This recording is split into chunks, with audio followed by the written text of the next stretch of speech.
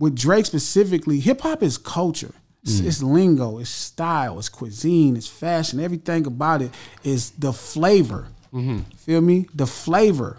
It's like you know what I mean. It's like soul food. It's like like yes, like the concept of fried chicken initially could be soul food, right? Mm. That don't mean Kentucky Fried Chicken sells soul food. They got greens. That don't mean they sell soul food.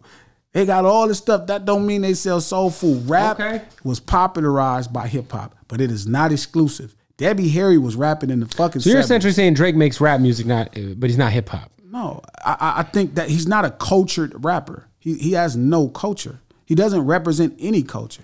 Drake is a fantastic rapper who makes fantastic rap songs that turn into pop songs. And he can sing his fucking ass off the way he sings. He he can uh, carry a note only the way he can. He makes fantastic records. Nonstop is one of my favorite fucking records, period. Mm.